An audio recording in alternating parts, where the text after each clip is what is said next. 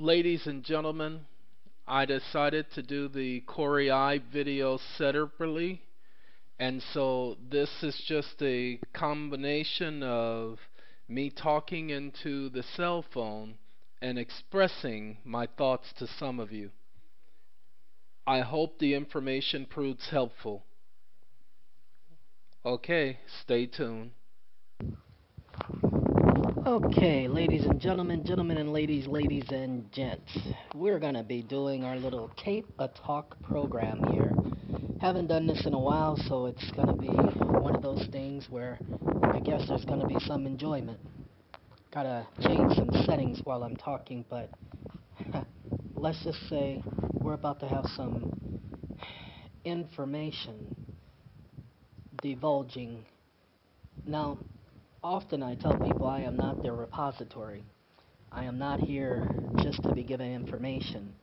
Now, I've never volunteered, nor has it ever been my wish, to serve as your source of information.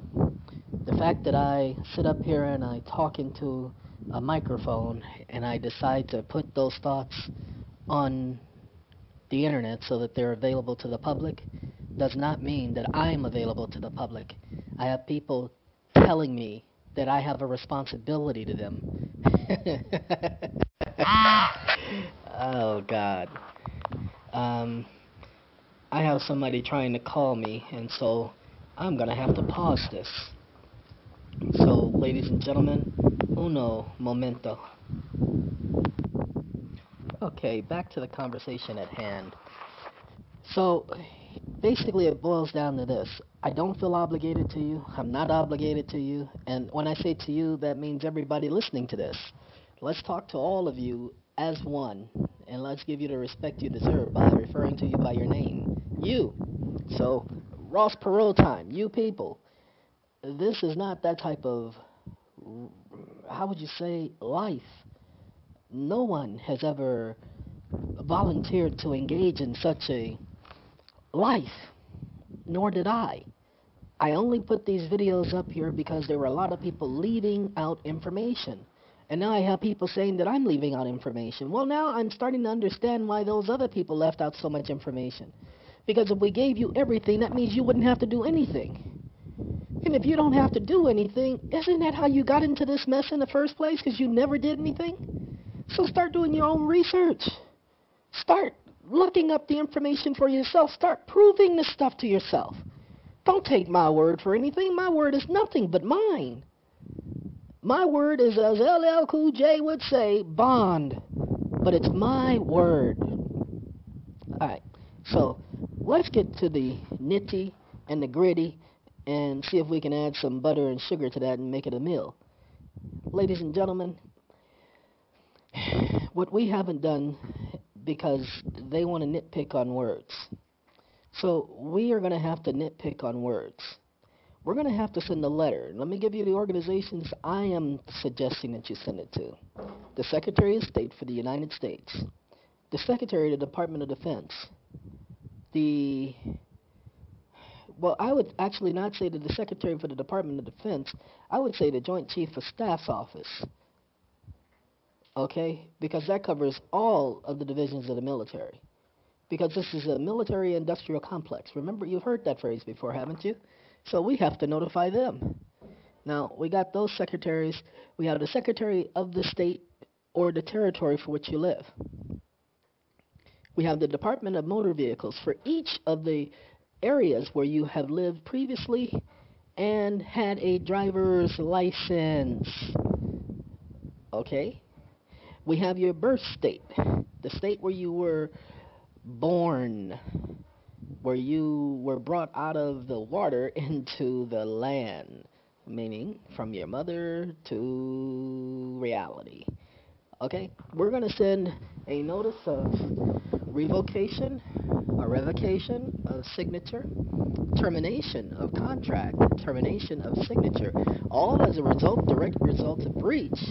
And you're going to actually say that you have fulfilled the end of your obligation to the best of your ability. And what you're going to do is say, you're going to mention to them that payment has already been tendered, as a result of your full faith and credit and the United States government borrowing from your account. And 90% of what's been borrowed is now payable and due. So you're demanding payment. You are removing any and all liability from yourself and any and all responsibility as far as standing as surety that you will no longer be in a position to ever stand as surety or be liable for any of the conduct of the corporation. Now, a corporation cannot do anything wrong. A corporation cannot have conduct. And on this document, when you produce it, when you create it, because we're not going to do it for you, to have to come up with your own. Sorry. No templates. Not going to have a template for this. Other people will, but we're not. You're going to mention that you're a sentient, self aware, conscious human. And you're going to mention that you have two arms, two legs, and that you are 75%. Well, no, we don't want to do the 75% H2O. We don't want to get too technical, and we don't want to do H2O because that puts you in commerce at sea. So we don't want to do the H2O part. We want to do the two arms and two legs. Um, don't have to do the 10 toes, 10 fingers. But no, it's not 10 fingers. It's only 8. You got two thumbs. Thumbs are not fingers. Who said thumbs are not fingers? They look like fingers. They're attached to the fingers. They're used with the fingers. Of course, they're fingers. Okay? Just that simple. Alright? And then you're going to take this letter and you're going to send it. Now, when you send that letter in, you're going to make a copy for yourself. And then you're going to send one certified and you're going to send one regular mail, the same way as a credit uh, agency does. But what you're also going to be adding in there is that you believe that they are collecting a debt in reference to this promise, and what you're going to do is you're going to tender a payment by way of a promissory note. And you're just going to write up one of the hour style money orders, but instead of labeling it money order, you're going to call it promissory note. Okay? No more no more money orders. No more bills of exchange with the words bills of exchange. We're just simply going to label it promissory note. Now, the unique thing about it is you're going to put it on a full sheet of paper. And you're going to get a notary. You're going to put the notary jurat at the bottom, which the notary certifies that you are who you say you are and that you signed it in front of the notary. And that's how you're going to send out your promissory notes, your hour style money orders from now on. This is er, what's the new secret for the hour style money orders? Okay? so here you go. Here's your new secret, people. And we're just now there are more avenues for the hour style money orders. We are changing them up as we speak because we're going to do several different templates. And the reason why we can give that information to you the way we're giving it to you is because this one there is no template out there for everybody to use. You have to create your own. Okay? Do you get it? Do you understand it? I hope so. All right. Now, what's been going on? How do we know what we know? Because we have been testing the courts out. Now, when we say testing the courts out, not so much the judges, but we're trying to figure out what's their jurisdiction, what's going on, how are they handling things, how are they handling affairs in the court. We believe we know.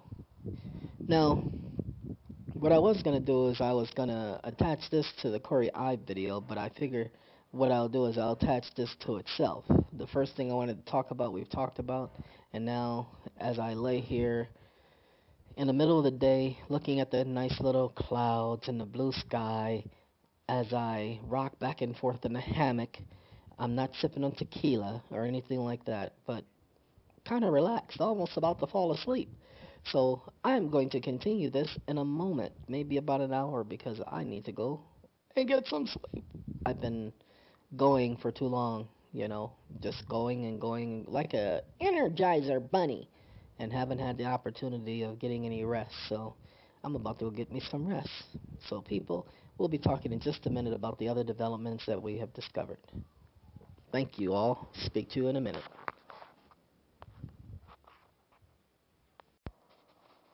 Okay, ladies and gentlemen, uh, you didn't know how long of a break it was, but it's been about four hours.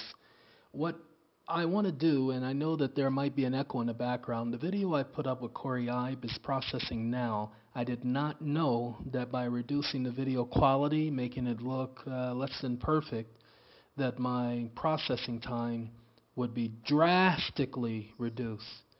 Uh, the video will be roughly a little over two hours long, and it's only taking about 30 minutes to process, whereas before, the same type of video would take me seven hours to process if I wanted to put it in a higher quality.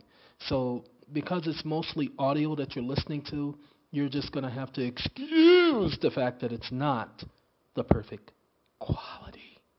Because the processing time was what's, what was killing me, and that's why I haven't been using a for um, I think it's called A for AVS video. I was going to say A for V, but it's AVS video.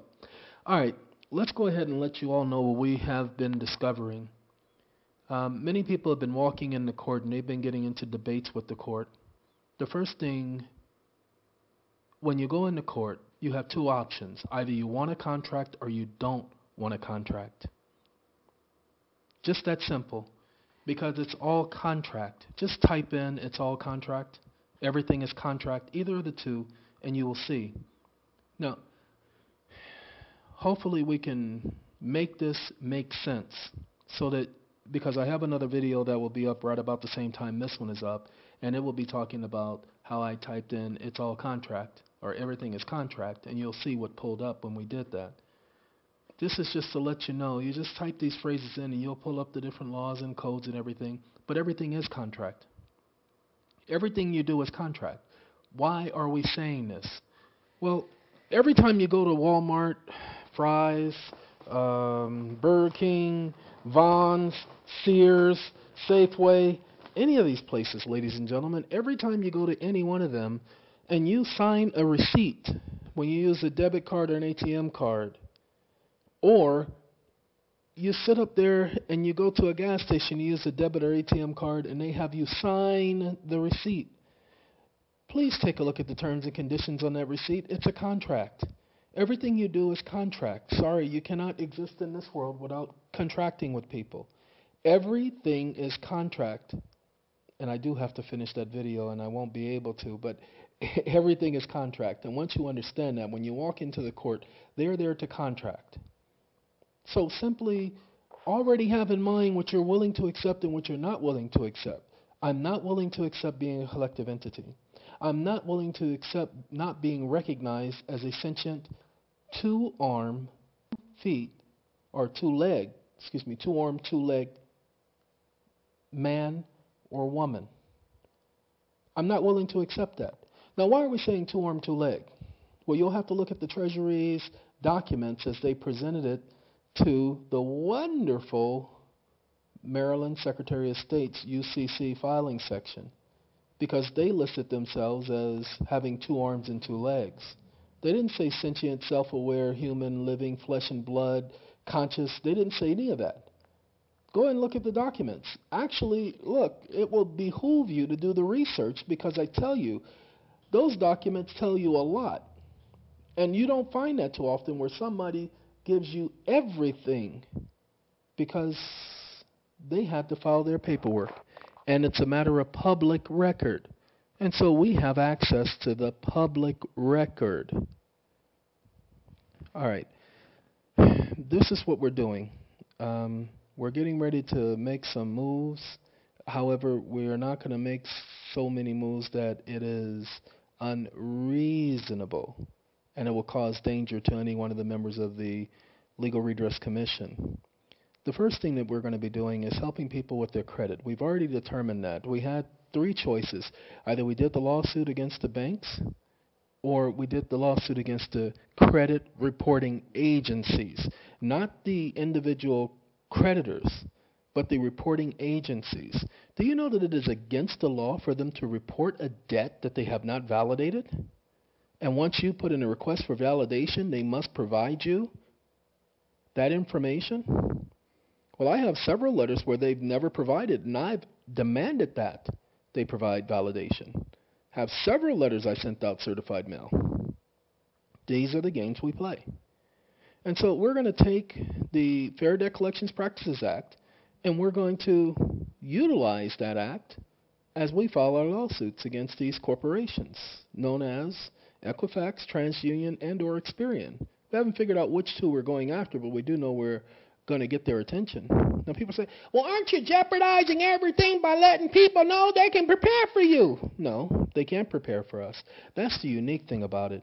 You see, you can't unring a bell. Do do you understand? It's already happened.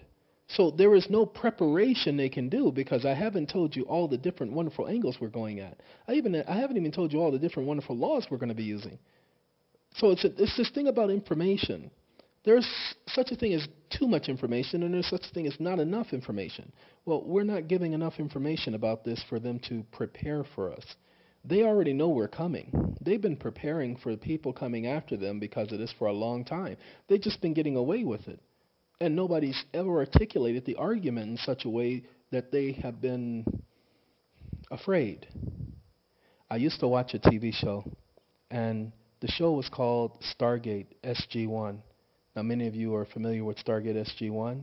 Um, and I, Dean Anderson, Richard Dean Anderson, uh, MacGyver, uh, starred as the wonderful, wonderful, wonderful, wonderful, wonderful uh, O'Neill. Colonel, he I guess he was a lieutenant. then he went to colonel. Then he went to admiral throughout the show. They had 13 seasons of Stargate SG-1, and well, let's just say the unique thing about that show was there was a character in it and you know what? I can't think of his Apophis. His name was Apophis uh, after a Grecian god. But Apophis, the episode where Apophis dies, a god dies, and he literally says the words, "I'm scared." He literally said he was scared. Thus, in the intro that you hear, the young girl going, "I'm scared." That's where it comes from from the episode where Apophis says he's scared. This is what we want to do. We want to put the type of fear into these organizations because what most of you don't realize is not about the banks. It never was about the banks. The mega banks, the major banks are doing this, the globalists and the major banks are doing that, and then they're doing this, and then they're, then they're also doing that. People, we don't care about what the banks are doing. Forget what the banks are doing. It's not about the banks. It's about what the banks represent. It's about the corporations. Do you not understand this is a corporate environment? The corporations are the ones that are in control. It's not the banks, it's not the lawyers, it's the corporations, and the corporations instruct the lawyers on what to do. It's all about corporations, it's all about contract. And because it's all about corporations, it's all about contract, get this. We need to rethink how we're walking into these courtrooms. So, what I would tell you is write up your contract. Let the court know that you conditionally accept every single thing, that you plead innocent to every single charge against you. And you want them to produce, and this is, this is my take on this. You want them to produce the evidence to you, proving anything to the contrary. There is no evidence of guilt. Do you not understand? And you want them to prove evidence against the person that is a human, sentient, conscientious, two arm, two leg individual. Now, here we go again with these words. Well, you can't use individual. Individual means this, individual means that. No, because in your contract you say and you do not accept any other language than modern English, as recognized by the Webster's Collegiate Dictionary. Just that simple. That you do not speak legalese, and if the court insists on speaking legalese, it must provide a translator. You don't have to insist on these issues, you just have to bring them up. The court will blah, blah, blah, blah, blah. We don't want to hear that. You're one of these, you're one of those. Let them say whatever they want. I conditionally accept that upon proof of claim that you can prove everything you just said. Because if you cannot prove it, then apparently you are now slandering me. Now, we don't want you to, many of you are not quick at the tongue to handle most of the judges who do the wordplay. So I'll try to break this down simple so that you can handle it when you go into traffic court. Because a person like me has been in the traffic court several times, and I haven't paid a traffic ticket since probably 1995. And I, I haven't been to court on a traffic ticket at least maybe about six times since 1995. And all the time in between, I didn't know what to say. I just always appealed. And so you always appeal, no matter if the decision is slightly not in your favor. You always appeal. And that was a lesson I learned because the judges don't have time to be hearing appeals. And so the appeal will either get over, the um, decision will get overturned, or the judge will rule against you and say that the other judge was right. So then you appeal that judge's decision. And then you appeal that judge's decision. Now, if they want you to post a bond, tell them you don't have a problem with posting a bond. Tell them, give you a second, you'll go produce a bond, you'll get it notarized, and you'll present it to the court. Do you understand? The courts are asking individuals to post bonds. And we really need to tackle that. Those of us who have a knowledge of the, the laws and have knowledge of money and have knowledge of what's lawful money and the fact that the government borrows from the public. If they're borrowing from the public, when are they to pay the public back? If all of you out there who knows how to articulate this particular conversation, I would say assist me in articulating this to the powers that be. We have the law, think it is 93-224, public law. If not, you'll see it on the video. That's um, the actual uh, conversation with Corey Ibe finishing. But nonetheless, there's going to be a little tweaking of the audio because when you listen to it, you're not going to be able to hear Corey too clearly, so you're going to have to turn the volume up. The only problem is my speaking is the volume is already there, so the volume is already enhanced with my speaking, but not with Corey's speaking. The reason being is because when I was talking to him, it wasn't the intention on playing this back for anybody. So you're going to have to understand this was not a scripted conversation with Corey. And the, at the end of the conversation, I asked him if it would be possible for me to produce this video, to put it online for everybody to hear what we talked about, because I think the information is pertinent. Now, people are going into court and they're trying all kind of stuff. They're saying this and they're saying that. They're saying they're not this, they're not that. I'm going to tell you, stop talking in court. Put everything in writing. And if they ask you a question, say, Does not my presentment already address that issue? Is there another issue you have? Just that simple. And you put them in a position where we we are going to start helping people with that with the Legal Redress Commission at redressright.com. Now, on this site, we're still building the site because the information has to be pertinent. So we're still building the site. So I'm going to say be patient with us for a moment as we put that site together. See, we were supposed to get started, and we did get started last weekend, September 15th. Okay? Not September 15th. September 15th was the last weekend. Today's 29th. Um, should have been the 20th. Should have been September 20th. So I apologize. Got the dates mixed up. And we did officially get started September 20th. We're setting up the corporation the way it should be set up. The organization is going to be set up in such a way that where we will protect the members who sign up with redressright.com.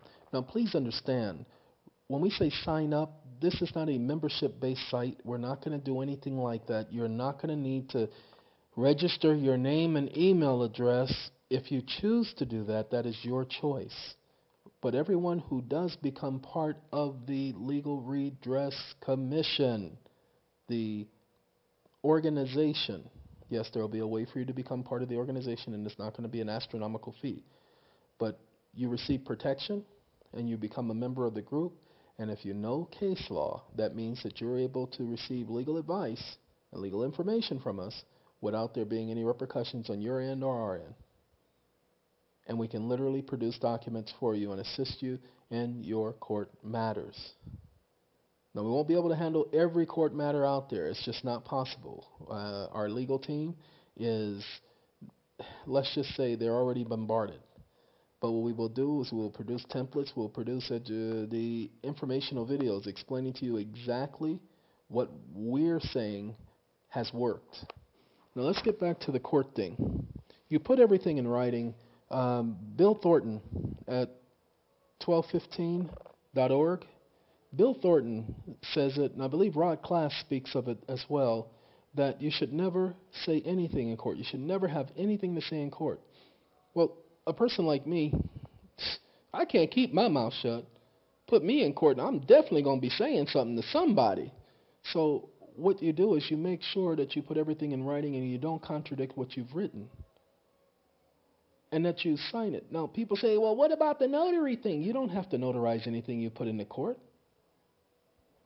Okay, and listen to the video with Corey I. The information he gives and the suggestions about not using words that they use that reference the corporation, I agree with him wholeheartedly, and you'll hear me say that in the video. I agree with him. Now, we're going to cut this part short, and I'll continue this in a moment, um, probably a little bit later tonight or tomorrow, because I'm very, very, very, very tired. It's been a long, long, long day. So I will get back with all of you momentarily. All right. All right, ladies and gentlemen, we're going to be sitting here for a moment in the automobile, waiting for things to open up here on this Sunday. Thought I'd take a moment to clear up a couple of things, and then we'll go back into the court issue and what we are finding is effective in going to court. Uh, the Corey Ibe, again, once I stated is when you listen to that, you'll have to excuse the volume level on his end. It is not his fault. It is the fact that if I'm not with the phone recorders, for some reason, if you're not operating the speaker, you cannot hear the other party quite so well. So that's going to be the only problem with Mr. Corey is that you're going to barely be able to pick up his voice. Now I'm going to turn down Champagne singing about how About Us, which was on the website recently as one of the songs in the background. What I am finding is that, you know what? It's unique that this song is saying some people. Um, people are interesting. Everybody wants to think that they are the greatest person on the planet. Well, I'm sorry. Let me be the first to inform you that we are all what we are and we cannot be anything better than that. You cannot be any greater than who you are. Just that simple. If you are predisposed to greatness, you will have greatness. If you're predisposed to being a punk, you will be a punk. If you're predisposed to being a prostitute, you're going to be a prostitute. Now, didn't say that you can't change. But if you are predisposed to these things and you don't do anything to change, then this is what you're going to be, and there's nothing you can do to prevent that from happening or stop that from happening. There is a lot, a lot, a lot going on right now um, with humans right now. Everybody wants to claim that it's the mystics, it's the stars, it's in the clouds, it's in it's in the earth, it's in their genes. Look, it's in nature, human nature, moronic and dumb human nature. This is what humans do. And they do it often. Yeah, I just had a, a police car pass by, and I, when they come back by, I'm going to uh, speak to them once again, uh, get their attention. As a matter of fact, for some reason, this is their routine. They pass by this area every single Sunday morning at this exact same time. Now, if any of you know anything, police officers, security officers um, are not supposed to keep the same schedule because individuals can learn that schedule. And that's exactly what's going on here. Individuals are learning that schedule. And it just doesn't make anybody sense. Doesn't make anybody sense this is going to be going to be interesting. All right, I'm going to pause for a second because I have to go and take care of something, but I'll be right back to finish this conversation. Okay, ladies and gentlemen, we're going to have Bette Midler going in the background. There's um, this thing about all of us thinking we are more than what we are, all of us pretending to be what we're not, all of us having images. I mean, you heard the saying, image is everything. And in reference to Jordan, and I don't care about individuals' opinions of this, it is a matter of fact. I try to stay away from opinion because opinions don't mean a thing. Okay, it's only in this world that an individual can have an opinion and somebody will put stake on it, but opinions don't mean nothing. The image is everything.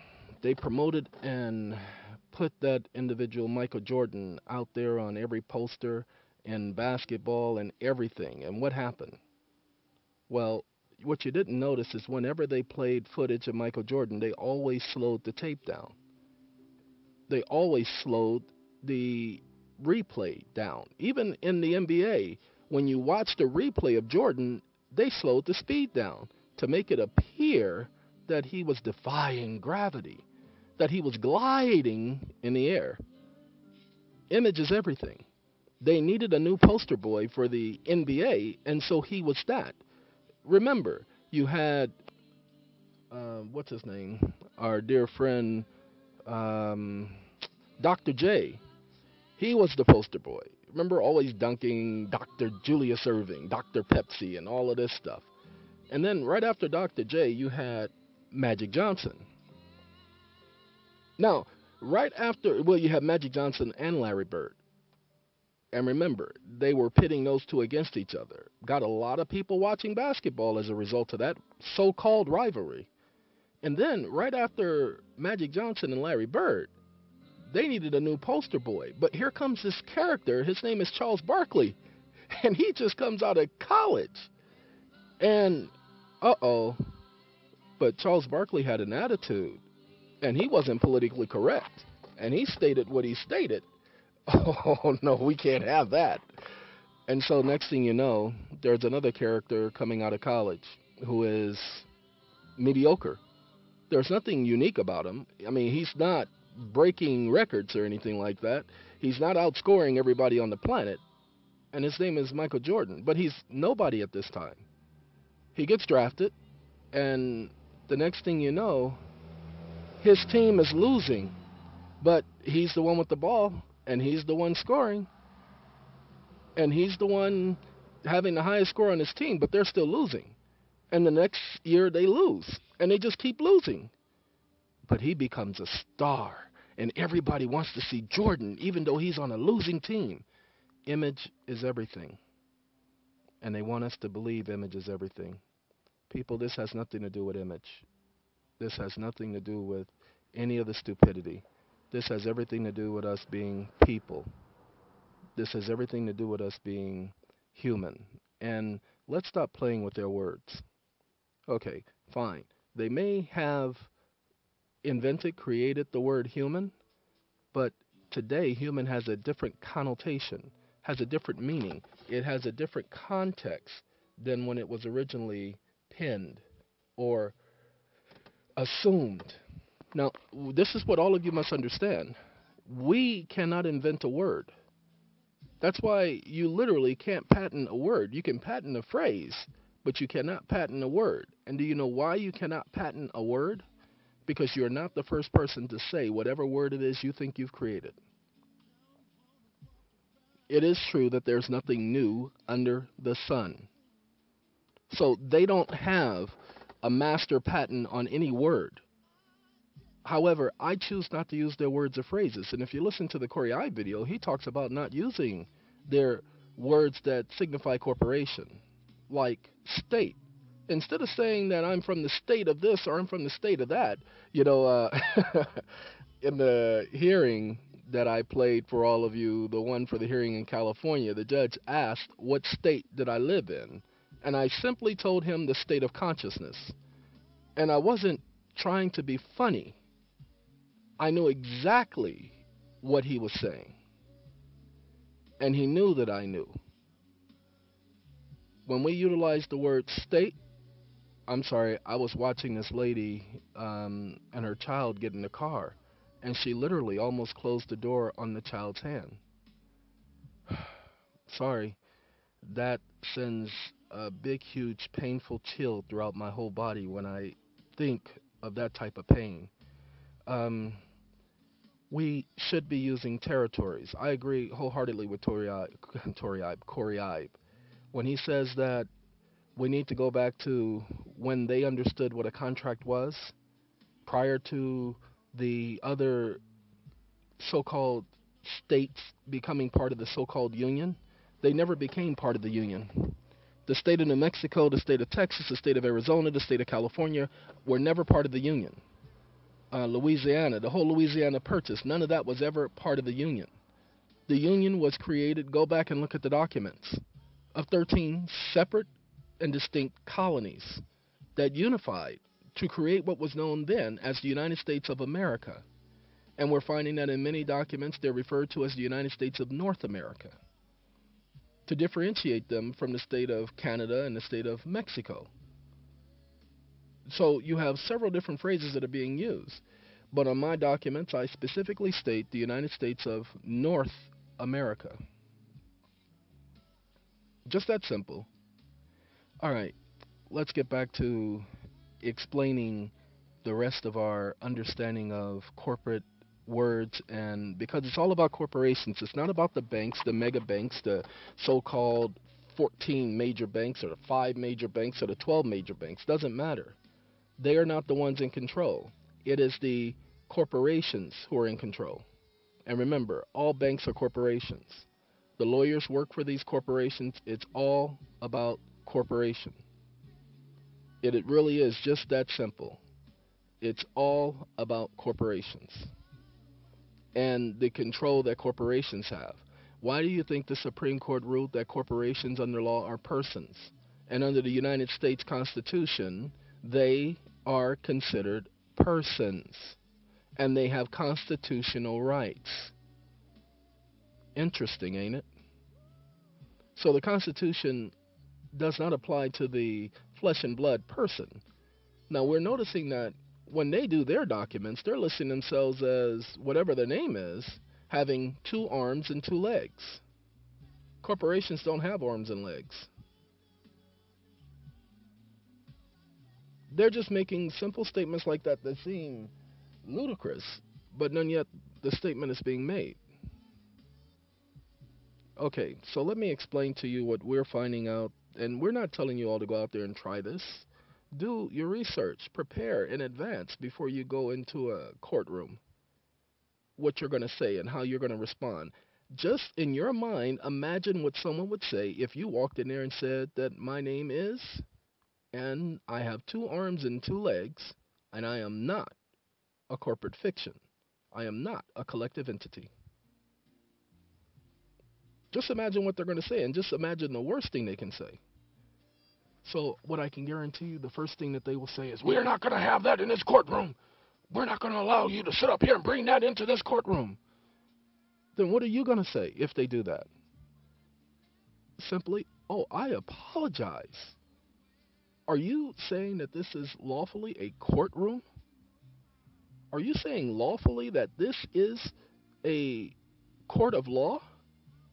If it is, could you please state that on the record so we'll all know what jurisdiction we're in? Because when I looked up this corporation on Dun and Bradstreet, it clearly indicated that this was a corporation and that you were an officer of the corporation. And when I looked at Manta.com, it says this was a corporation. And when I went to Hoover.com, it said this was a corporation. So if you say you're not having that here, I agree that we shouldn't have that here. So could you please state on the record what this is? Do you or do you not work for a private corporation? And are you not at this very moment operating as an employee of that corporation? and he will do his best not to answer. And you simply, he's going to ask you a question. He's going to get yelling and he's going to be upset. And he's going to sit up there and ask you a question, and you say, Oh, no, excuse me. Apparently, you didn't hear me. So let me restate what I just stated. Are you working at this time and moment for a private corporation. Just that simple. I don't see what's so difficult about that question. Either yes or no. And he will yell at the bailiffs and he will yell at the um, other clerks of the excuse me of the court telling you to do this telling you to do that telling you this is the way it is and that is the way it is. And then you simply ask the question again. Are you or are you not working for a private corporation? If you are not i am going to have to assume that you are. If you do not so state it now, I will assume that you are working for a private corporation. Just that simple. Okay. Now, let me see if we can move on to the next point. After you get the whole issue as to what he's working for, who he's working for, and why he's working for them, then you go ahead and you tell them, and by the way, because this is not a judicial proceeding, but a corporate proceeding, I will participate under the following terms and conditions that $50,000 be credited to my account. Don't get outrageous. Don't get absurd. Just give them a figure that is reasonable and say $50,000 be credited to my account immediately for my engagement and I waive all liability excuse me, let's say the word commercial liability, and retain any and all rights secured to me by the laws of humanity. Not the not the Constitution, but the laws of humanity, because it has been noted by the Supreme Court and the scholar who helped put together his legal international dictionary, um, or his thesis on international law, Mr. Hall, that the laws of humanity are the basis for all laws in the world, the foundation. Interesting, ain't it? Okay, so when you do that, the court's demeanor is going to change. Then you just let them know, oh, I am not here to argue. I'm not here to be obstinate. I'm not here to be debative. I am only here to resolve this matter and to finally bring this to resolution and conclusion. Really, just that simple. Okay? No complications. It really is that simple. Now, what if he does this? What if he does that? That's when you're going to have to figure out what you say next. See, this is not for me to tell you everything that you say because if we do that, they will just come up with other stuff to say to you that will change everything. Now, like Corey Ibe and I both said in the conversation, they are not your enemy. They are not there to cause you grief, pain. They are not there to cause hatred. That's not what they're there for. They literally are there doing a job, and they have been employed to do that job. For instance, some of you are police officers, and then some of you are ambulance workers. you know, when one of my neighbors had an asthma attack, and she died in front of me. Um, the police pretended like they were working on her, like they were helping her, like they were assisting her, like they were doing something to benefit her when they weren't. And I said the police, the ambulance workers. She had died, and they definitely made it appear that she wasn't dead, that they were still working on her as they drove away with their sirens on. That is a policy that they have in California so that the relatives and families do not get irate. And plus, we lived in a project, so can you imagine a gang member's family member dying and them thinking that the paramedics and ambulance didn't do all that they could to save that person's life? Can you imagine if that gang member was out of control and if he had several guns in his house? what would happen to those ambulance workers and what that situation would turn into. So they have to pretend that they're still working on the person and wait till they get to the hospital for the doctor to declare the person dead. Remember, a paramedic cannot declare anyone dead. Only a doctor can declare someone dead. That's why they will say they were dead on arrival because the doctor, when they arrived, declared them dead. And it is a declaration. And that's the issue. Declarations. Okay. Now, getting back to this um, fact that they're just doing their job and they're just being who they are, once you all understand that they're doing a job, you're going to go in there with the attitude, well, I'm just doing a job. No, it has nothing to do with your job that you're doing. It has nothing to do with the job that you're doing. This and you are two different things. It has nothing, one has nothing to do with the other. Okay?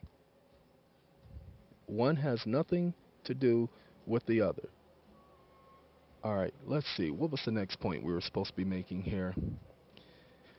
When we are entering into these venues, we don't need to sit up there and have a special handshake. We don't need to know special codes and words, and we don't need to watch everything that we say. We just need to make it quite clear who we are not. And then we clarify who we are. Now, we came up with what we called the new identification card, and you'll see that on the site. That identification card has a space for a notary seal, and yes, you get all of the spaces for notary stamped because that's going to be a two-sided card. Okay?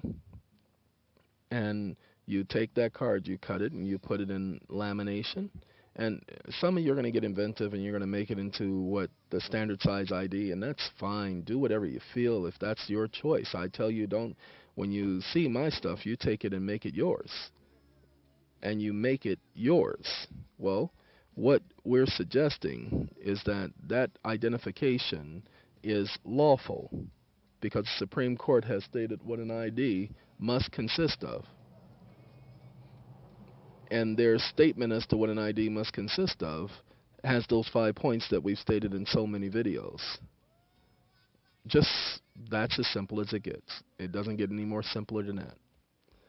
Okay, let's see. What is our next point that we're going to be making this morning? I'm a little distracted because I'm in an area where I'm getting ready to go to the Sunday morning, what we refer to as Jehovah's Witnesses as our service meeting or meeting. Uh, we don't call them services because this is not a service meeting under the term service. This is the term service meeting because of what it addresses. And so I said service meeting, that's on Thursdays. I'm sorry, this is the public talk and watchtower study. The service meetings are on Thursdays for me. For some people, it's Tuesday, Wednesdays, or Mondays, but mine is Thursdays, and the uh, Sunday meeting is the public talk and watchtower study. Yes, that's right. We study the watchtower. Uh, you can't just give something to somebody without knowing what it says. And so we literally go over every publication before we hand it out to you all. We go over the publication because we have to know what the publication says if anybody calls us on it.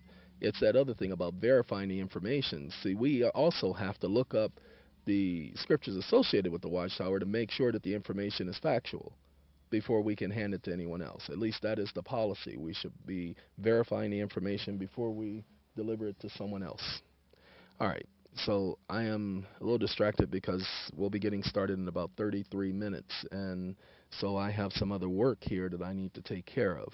So I just wanted to put this out there for some of you who are more than interested of entering into the courtroom arena because this is your interest. We have um, we have so many things going on here in this world. We have the fact that the United States Treasury has placed a lien on the Federal Reserve Bank and the Federal Reserve System. And as I told everybody, when they put a lien on the Federal Reserve System, all you have to do is go look at Title 12 of the United States Code, Section 411, where it talks about legal tender. And it says that all of the membered banks of the Federal Reserve Bank Okay, the Federal Reserve System includes all their membered banks, Bank of America, Wells Fargo. So quite literally, the United States Treasury put a lien on all the banks. And they did it with one swipe of the pen. They just typed it into the information and it became a lien on all of the banks. Imagine that. All right.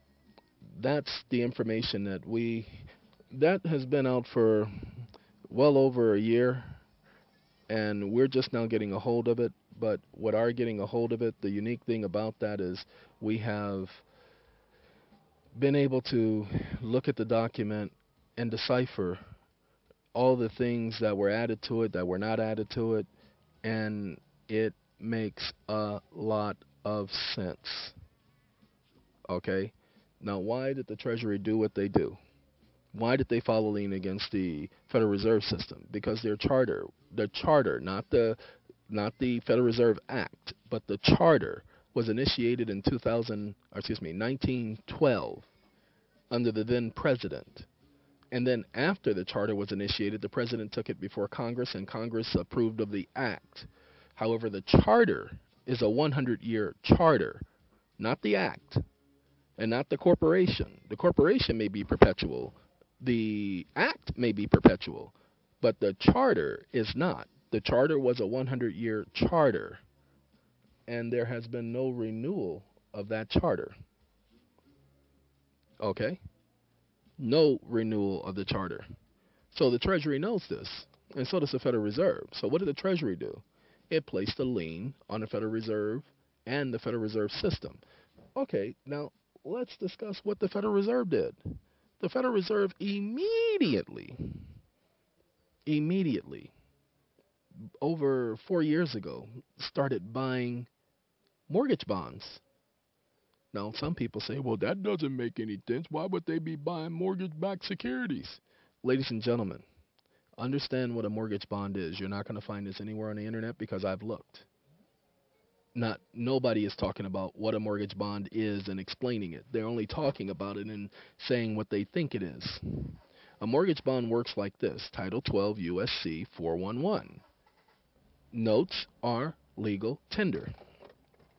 So they're taking that note, that legal tender, to the United States Treasury window.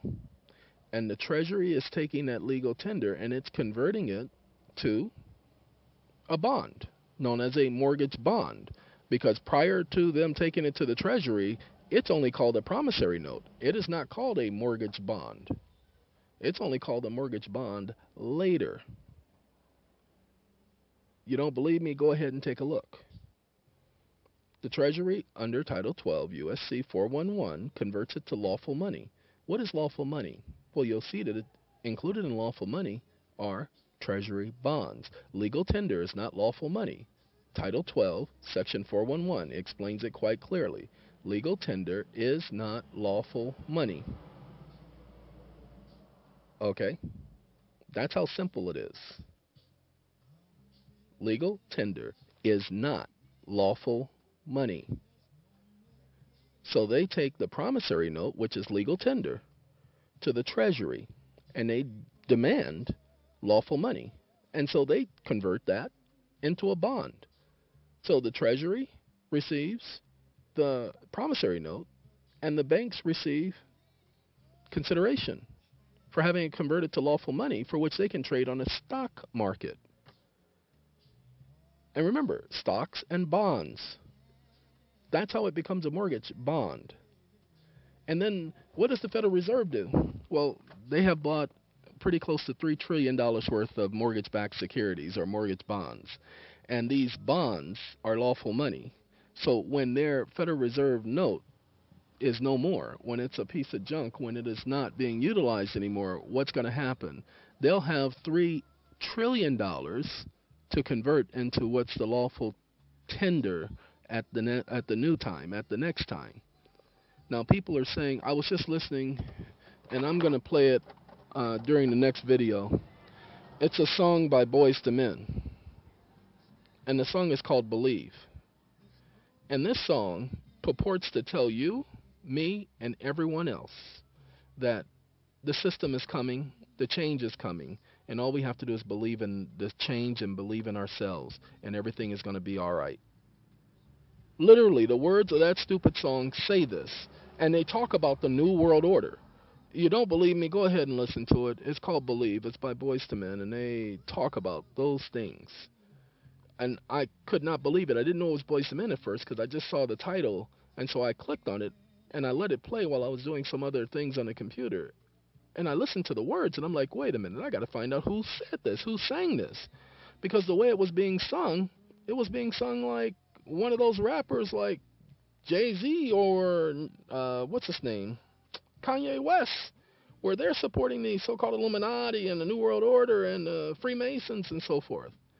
Well, this was Boyz II Men, and it really surprised and shocked me as to the things that they were talking about. And when I say really surprised and shocked me, I assure you that that is an understatement. Extremely shocked and extremely surprised. All right, ladies and gentlemen. Well, that's going to conclude these sessions of audios. We're going to splice them all together. And what we're going to do is we're going to place these up hopefully Monday, mañana. Um, we have the opportunity of being at a location where we can um, upload these to the internet. I'm in an area where there's very little internet, and the speed here, well, for lack of a better word, siphons. Yeah, that's a better word. Siphons. The speed of the internet here siphons. For those of you who don't understand what siphoning is, it means to suck. So the speed here sucks. Just that simple. Um, but I will make it work. I will have to get DirecTV. I don't watch TV. So you can imagine how I feel about having to go buy a TV. And out here, DirecTV, you pay monthly, but it's no contract. You just get the box and you do your own installation. uh, all I can say is amazing. So I'll be connecting the DirecTV and hooking up and doing the installation. Um, and then getting internet through the satellite. I'm going to suggest that all of you have a good day, a good life, a good night, a good time, and we shall talk later. Have a very good day, people.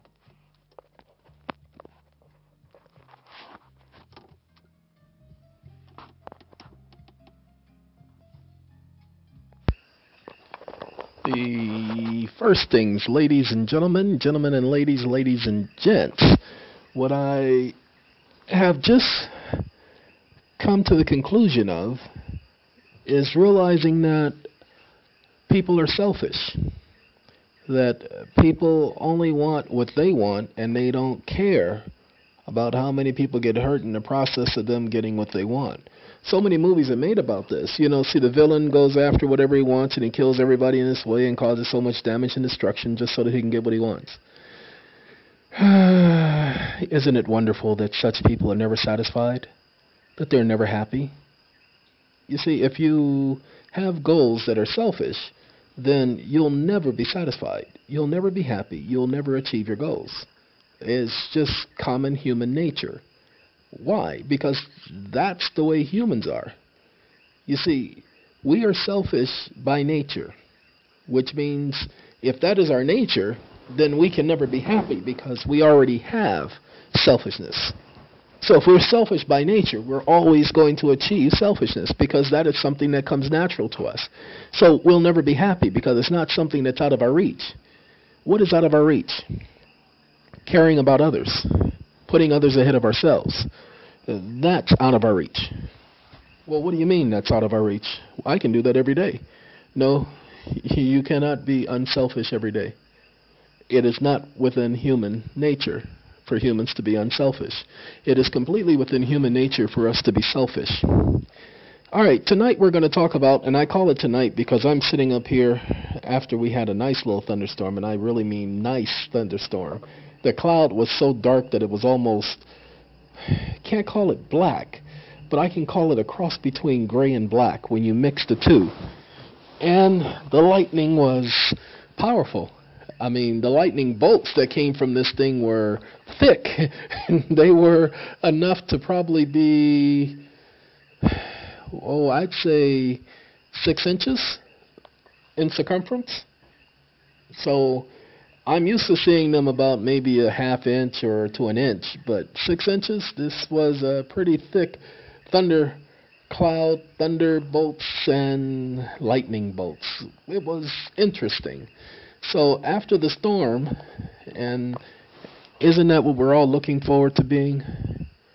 Able to be around after the storm? There's always going to be pieces to be picked up, but nonetheless, we'd be able to say we survived. And I used to tell people one thing that you couldn't get away from in life because it was an understanding we all had to come to is that everybody reaps what they sow. But I was reading over something the other day, and I it was a scripture, and it was Matthew's. And yes, I'm going to mention a scripture. I haven't done it before, but I will mention it in these videos this time.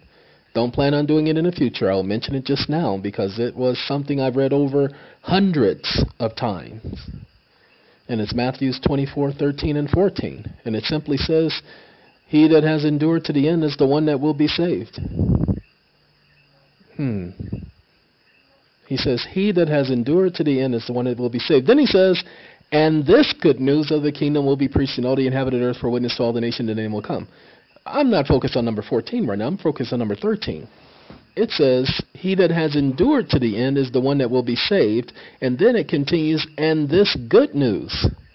Interesting. Isn't it good news to know that if we survive, if we endure, if we put up with whatever is headed our way? Isn't that good news? We'll be able to say, Look, man, I survived that. The Great Depression, look at how many people survived that. The Spanish influenza, look at how many people survived that. People, it's not always the greatest feeling in the world knowing you survived, but I guarantee you, you realize the fact that you survived whatever ordeal you survived, that if it were to happen again, you would be able to handle it again. So endurance is a means for being happy, for understanding that, man, that wasn't as hard as I thought it was. So, let's talk about a couple of things that aren't as difficult as you think it is. We're afraid. You're afraid, I'm afraid, we're all afraid. Let's not let's not kid ourselves. Let's not kid ourselves. That's why when we walk into a courtroom, we all get that feeling, that nervous feeling, that that that feeling of unease. We all get nervous. Why? Because it's there to intimidate.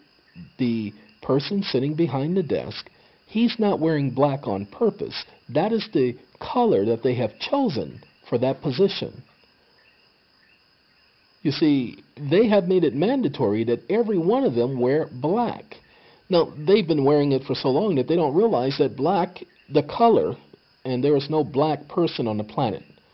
You will never, ever, ever, ever, ever, ever, ever see a black person. Because there's nobody who fits the description of black. If you want to see a black person, go and look at Dragon Ball Z and watch Mr. Popo.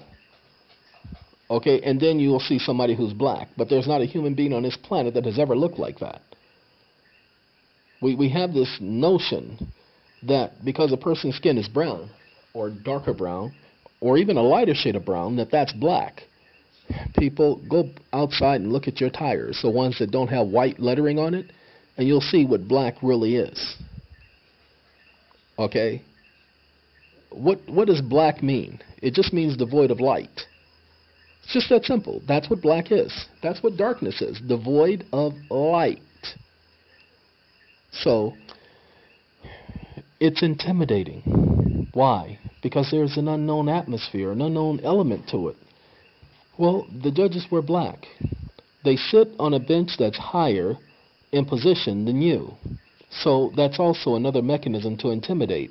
There's also usually someone in that courtroom that they control who has a gun, another intimidating mechanism. And then they use a language called legalese and laws that are based on that language, legalese, and you don't know what those laws are or the language is. And that's intimidating. Then they ask you questions that are designed to cause you to testify. And what do you do? You get nervous. Another mechanism for intimidating. When I show up in court, the first thing I tell them, when they ask a question, oh, I am not here to testify. Just that simple. I am not here to testify. Well, the question I asked you was relevant to this matter. No, the question you asked me was a question to the plaintiff. And I don't see how that question has relevance to this matter, especially if it's an irrelevant question. Make the court explain on the record what's the relevance. And if it does have merits and relevance, and if you know how to argue merits and relevance, then you proceed at that point. But once he explains it on the record, then you explain it for the record.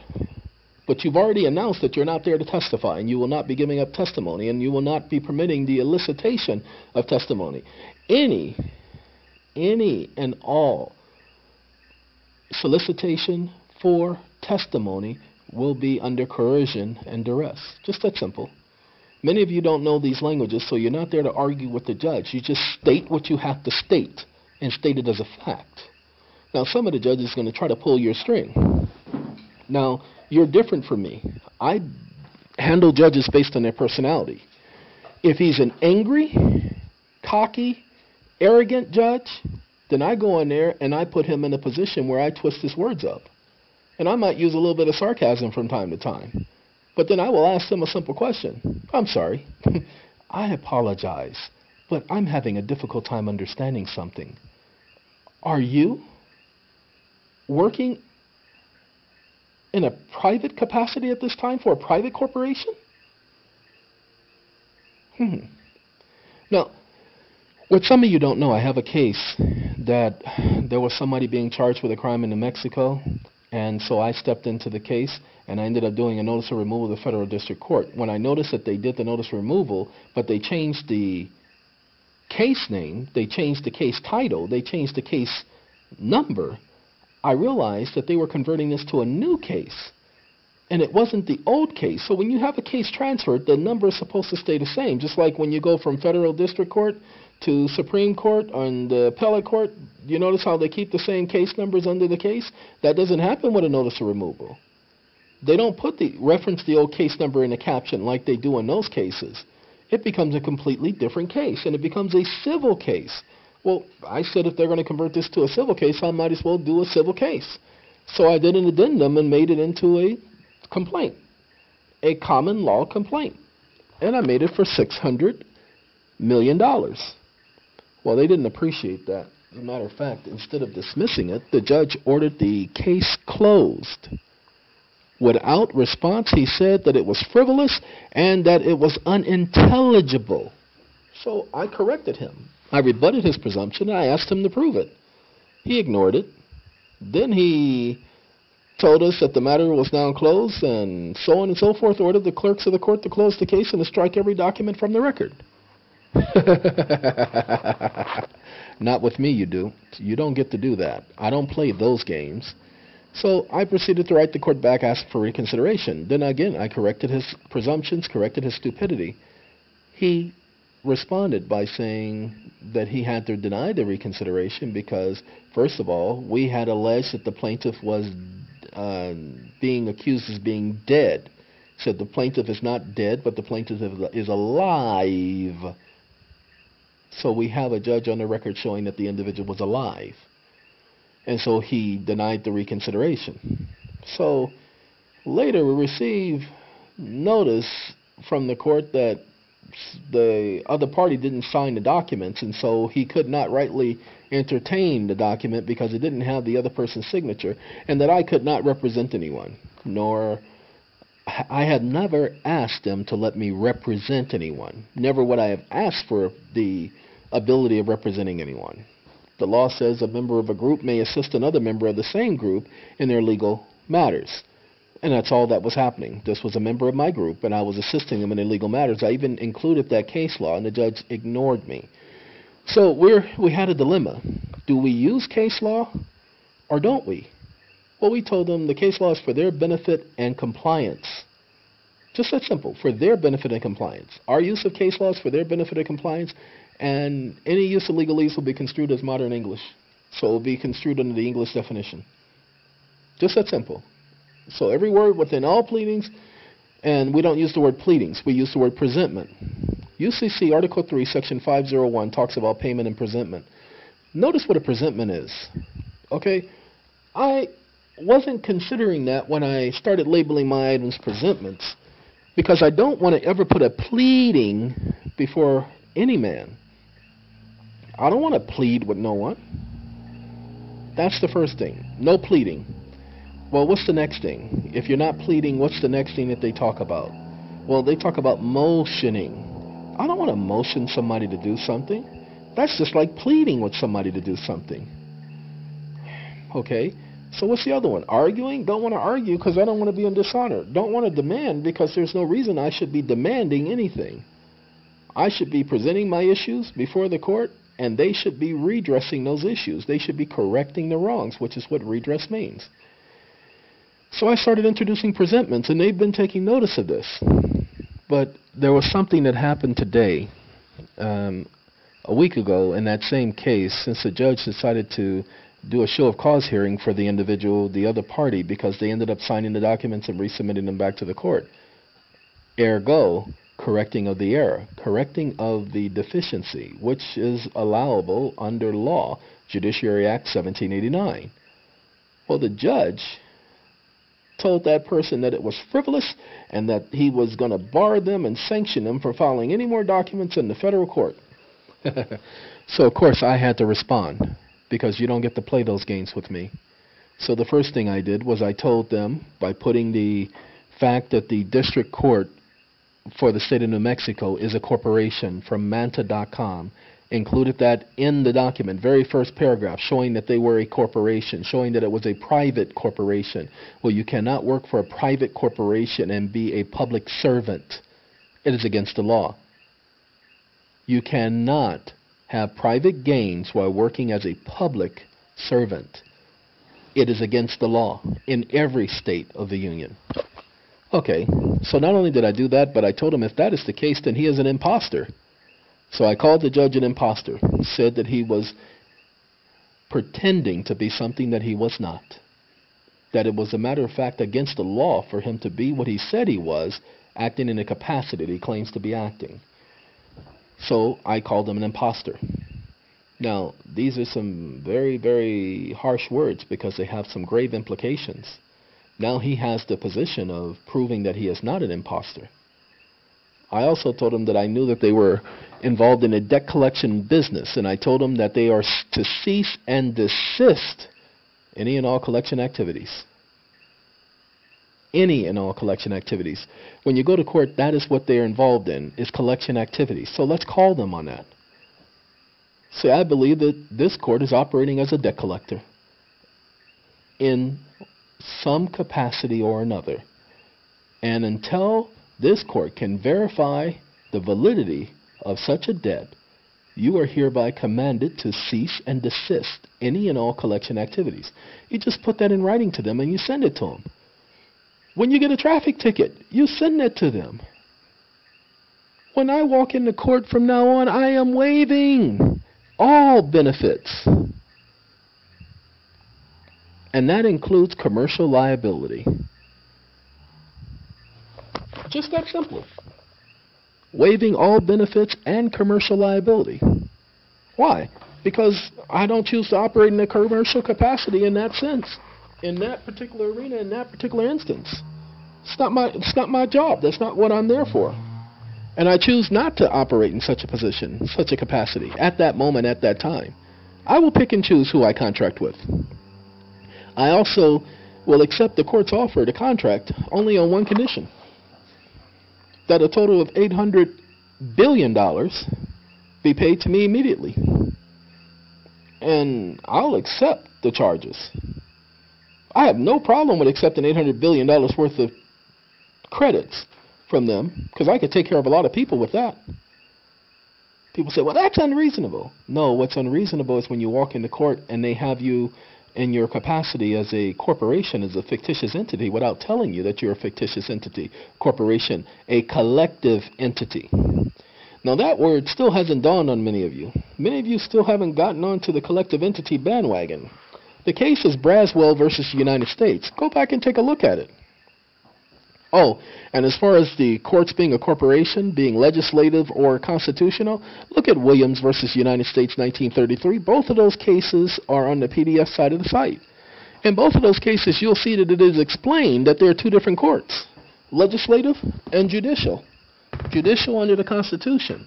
Article 3 court, that's the type of court we need. No, you don't want an Article 3 court. And I'll say that until the day I am no longer breathing. An Article 3 court is simply this unconstitutional because Article 3 contradicts the Constitution. That's just that simple. So any law that is that contradicts the Constitution is void of law. That's the Supreme Court and several other courts that have stated that. And several of those laws contradict the Constitution. It says it's repugnant of the Constitution. It actually uses the word repugnant. Amazing. All right. So let's go ahead and explain to you what happened. We told you about how the courts were using both sides of the document and how from now on we're going to be printing on both sides of our paperwork from now on. Why? Well, because we realize when the courts send us documents from the district court, they print on both sides of the page. But the rules say that we can only print on one side of the page. Now, why is that? Well, that's because they have it to where they can use the other side of the page. They reserve the other side of the page for them. So at the bottom of our documents, we put the statement that we're not a collective entity. And we also place the words that the reverse side of this document is reserved for the sole use of the plaintiff or petitioner, not petitioner, I'm sorry. We don't even like the word plaintiff because but we can use the word plaintiff because it's a complainer. So the plaintiff and or the presenter's use only and for no other purpose. So the reverse side of this document is reserved for the presenter's use only and for no other purpose. Just that simple. And we put that on all our documents that we submit to the court and any other entity. So that they only, only focus on one side. And then we print on the reverse side of every page, this side intentionally left blank. Just that simple. Okay? That's how we present our documents to the court. Now, what have we found that's been working? Well, when I called the judge an impostor and said he worked for a corporation and said that in all likelihood he was a Mason and that the court building itself um, served a dual purpose one as a Mason temple and the other as a hub for a corporation. Hmm. Things changed just a little bit, ladies and gentlemen. Things changed just a little bit what we notice is when they sent this one back, they didn't print on both sides of the page. They didn't even print the whole page because it was sent to them on legal size paper. What we notice is that these individuals sent this document back with the reverse side of the page blank. I thought that was to be very interesting calling the judge an impostor, calling him a Mason. Well, we didn't actually call him a Mason. We said that he appears to be practicing religion from the bench.